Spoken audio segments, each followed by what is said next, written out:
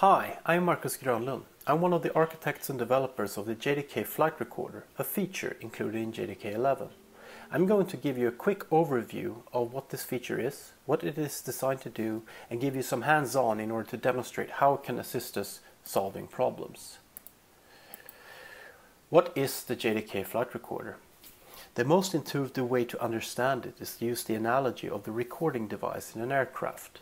And just like these devices record interesting events related to air travel, flight recorders intended to record events related to our programs.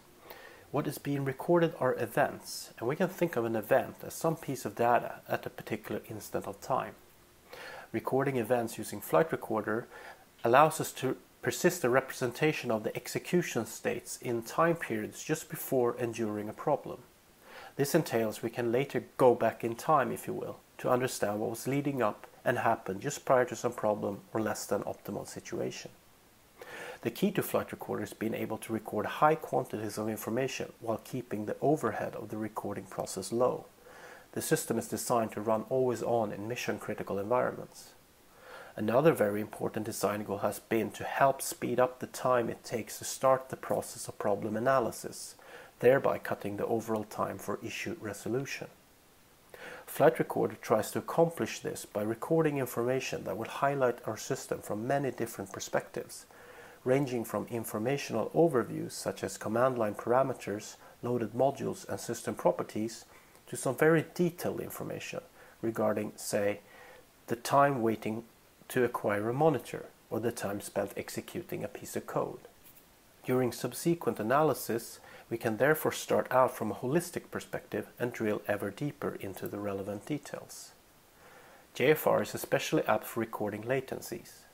Where traditional profilers report time executing, JFR records and reports situation where the application is not executing, or at least not as effective as it could be.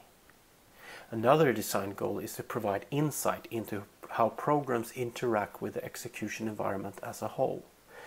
As you are most certainly already aware, many problems we run into are not directly attributable to logical errors in our programs, but they appear because of a confluence of many factors and relations. With Flight Recorder, we have a means to capture these usually hard to reproduce situations, where a large portion only seems to surface in production environments. The most common use case is to use JFR as a background recorder analogous to the recording device in aircraft. We can also view the flight recorder infrastructure as providing us with an always available profiler, ready to record more extensive information if needed, and maybe only for a short period of time. The actual interaction with flight recorder is very simplistic. The work we invest is done prior to and after getting the recording system running. In the former case, we design our events and metadata using the APIs and in the latter we make use of the recorded information in order to improve our understanding of a system at a particular time or in a particular situation. And this can be especially helpful in production environments. To get data out from Flight Recorder, we instruct it to dump the information it has already recorded, and this produces a binary file, which we can view as a database in compressed format. We can use programmatic APIs for interacting with this file, and this can be useful if you already have some sense of what we're looking for. But mostly you don't. Like any good profile you put to use, it will almost invariably point you somewhere where you had no idea of even start looking. In these situations, we can enlist the help of a GUI to assist us manage and better understand the large data sets and relations. So let's use jcommand. We will use jcommand pid help and we can see five commands for interacting with JFR. The command to start recording is called JFR start. Here I've given this first recording a name called continuous because this will be the recording we will have running in the background. By having this recording running, we can send requests to dump the recorded information anytime we like. And that is exactly what we'll do here after letting it record for a while. We use the JFR dump command to get information from Flight Recorder. So let's use that here. JFR dump, name continuous, file name, and let's call this one discovery.jfr. Let's again issue the jfr check command. Notice here that the dump operation we just completed is non-destructive in the sense that we still have a background recording running. Now just a quick note on the file we just dumped. A recording file contains much structure. In this example here, we have a sample file of about 5 megs in size. I've used the APIs in JDK JFR Consumer to reconstruct the relational information into two standard file formats, JSON and XML. The file size listings give testimony to the fact that although the, the file can be transformed into these other formats, you need to be aware of the size overheads. Now we will start our analysis and in order to properly understand the vast amount of information we have at our disposal, we prefer to use a GUI tool that will assist us with the analysis process. We will use JDK Mission Control, which is an excellent tool for doing just this. And uh, just as with Flight Recorder, with, for JDK 11, JDK Mission Control is being open source and donated by Oracle to the OpenJDK community. We will be using an early access version of Mission Control. Let's click the Threads tab. Here, to the left, we can see threads being represented as rows in a table. Each row is projected onto the graph, representing the execution state for that particular thread. In the graph itself, we can see time plotted along the x-axis. These graphs remind me of sonar graphs. You know the kind they use in underwater seabed explorations. And just like sonar graphs help depict the contours of something we cannot directly observe, so JFR can help us see contours of hard to observe problematic execution patterns. We also see quite a number of red dots. These red dots are events. Let's inspect what kind of event it is. Java monitor blocked. Besides giving us information about how long this thread was blocked before acquiring the monitor, it also gives us information about the monitor itself, for example, it gives us the instance of the monitor, that is, it's represented by the monitor address. It also gives us the class for this instance, and here it is a Java util hash table. In addition, it gives us information about what thread was the previous owner of the monitor. When monitor blocked events line up like this vertically, it's a clear indication of a bottleneck. It looks like most threads needs to acquire this particular monitor in order to pro proceed with execution down the right, that is along the time axis. Let's select one of these events. Here, the stack trace view provides us with great contextual information. We instantly see that this thread is blocked while executing this particular path. Mission Control also provides another view over locks, so let's check that one as well. And now let's check the code related to this.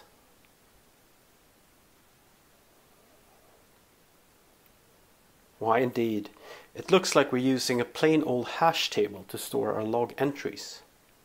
With hash table being synchronized, we immediately see our mistake. Let's change it to a concurrent hash map instead. We're just about to deploy our new code when we remember that we might want to turn on JFR from the start. We do another dump for this newly deployed code, which I'm not showing here. And we again check the Threads tab. Look ma, no dots. In this example, of course, I knew where to start looking. But sometimes you don't. The good thing is that Mission Control can actually assist us with this kind of analysis. We will redo the same scenario that we just did, but at this time we will check the automated analysis results page. One rule here says lock instances, Java blocking. And it looks like it automatically found the high number of threads being blocked on this particular monitor. Let's pause here. Why did we not see this until production? Either we didn't provoke enough stress during testing to increase the concurrency level to a problematic level, or maybe we did do that, but we did not use a tool that reported about it during the test cycle. In this situation, the code we were involved with was, was our own, so we could easily change it, but it could just as well have been code located in a library that we were using. We believe JFR can be of assistance here, helping us scale this value. Say we wanted to report this finding to the library developers. We could easily attach this recording to their bug reporting system. Now the bug report just got stronger, our argument being backed by empirical evidence. The library developers in their turn is also in a much better position. They have just received a piece of real execution about how their library is being used, and again from a production environment. Another philosophical reflection is that there was no real error involved here.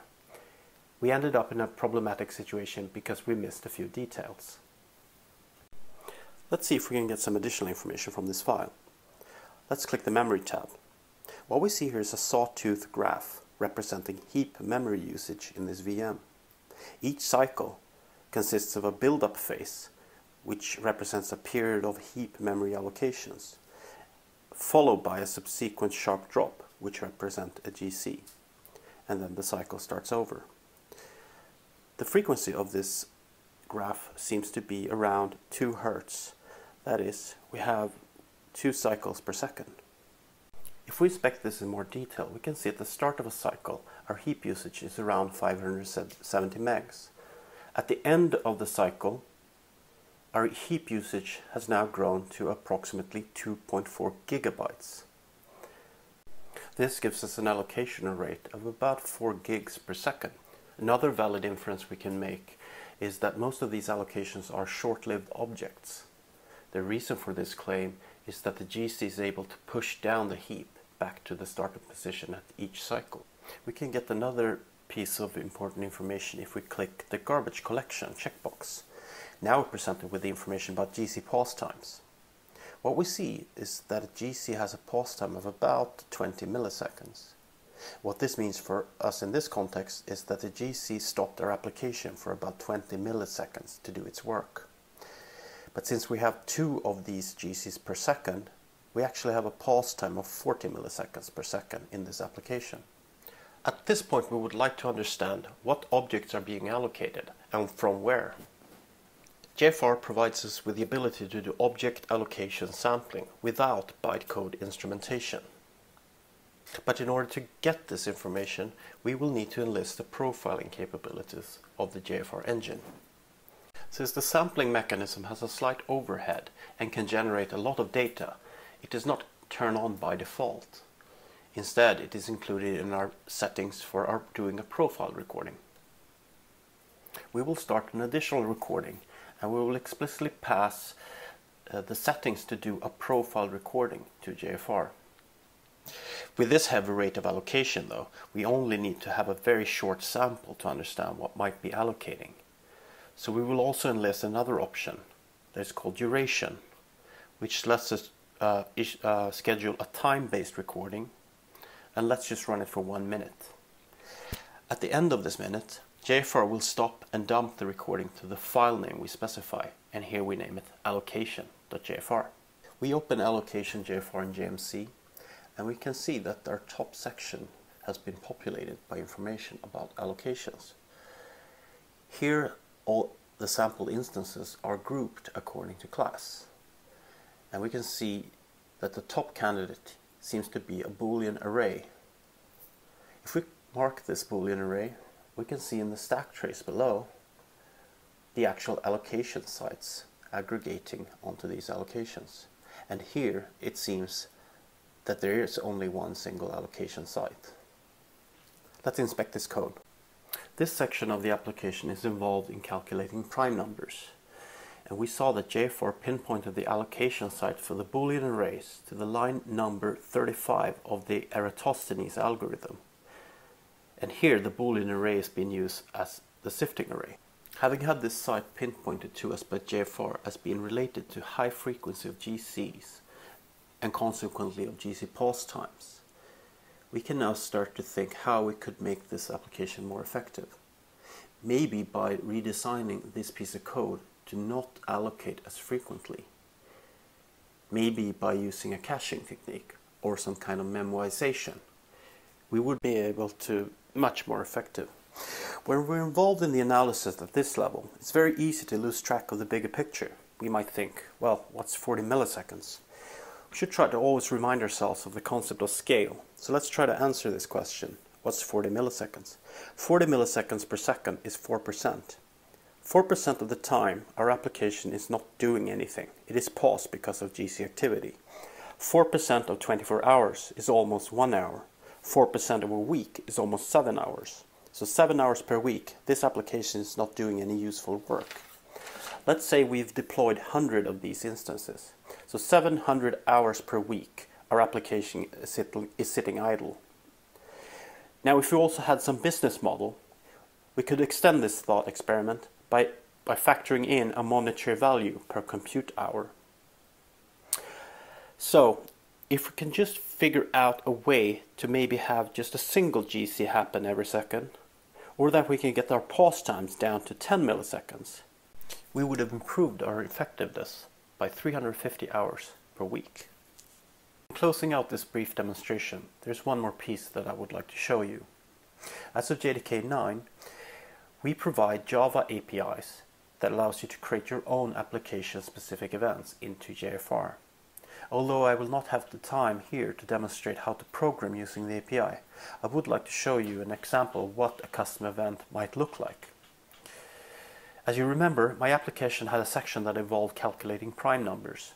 And here we can see a custom event I added to JFR to represent these calculations. There's a lot of details here, that we might need to cover some other time. But the main takeaway message is that there is no categorical difference between this custom event and the events we've been inspecting so far. Of course, it might look that way, but that is because JMC has predefined views of some of the most general event types. This view also demonstrates another important aspect of JFR, and this is the concept of self-describing data. Here, JMC did not need any particular changes in order to display my custom event. Instead, the custom event contained the metadata for a consumer to represent this information. As a specific example, we can inspect the ratio field here. And as you can see, the tool is able to render this value as a percentage. This is made possible because the custom event has been decorated with semantic metadata that effectively says to a consumer, this value is a percentage. So let's summarize. The operations you saw me demonstrate using jcommand and JFR dump are completely mechanical and should ideally be handled by a monitoring tool. Such a monitoring tool could invoke dump operations as a consequence of something happening at a higher level, maybe a distributed transaction. If we can expedite the process of getting analysis started, most likely through some means of automation, the faster we can understand and solve problems. As of JDK 9, Java APIs and JDK JFR allow programs to create and integrate their own events. We really hope you like JDK 11. Thank you for watching.